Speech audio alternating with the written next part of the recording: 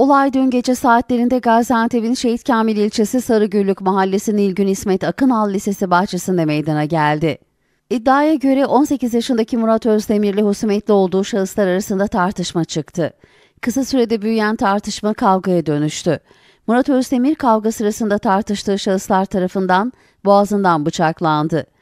Ağır yaralı genç çevredeki vatandaşların ihbarı üzerine olay yerine gelen 112 acil sağlık ekipleri tarafından yapılan ilk müdahalenin ardından 25 Aralık Devlet Hastanesi'ne kaldırıldı.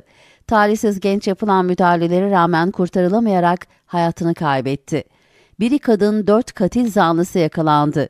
Yaşanan korkunç cinayetle ilgili çalışma yapan Asayiş Şube Müdürlüğü, Cinayet Büro Amiri ekipleri katil zanlıları ACG, TG, BT ve TK isimli kadın şüpheliyi gözaltına aldı.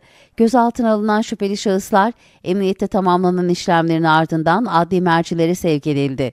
Olayla ilgili geniş çaplı soruşturmanın sürdüğü öğrenildi.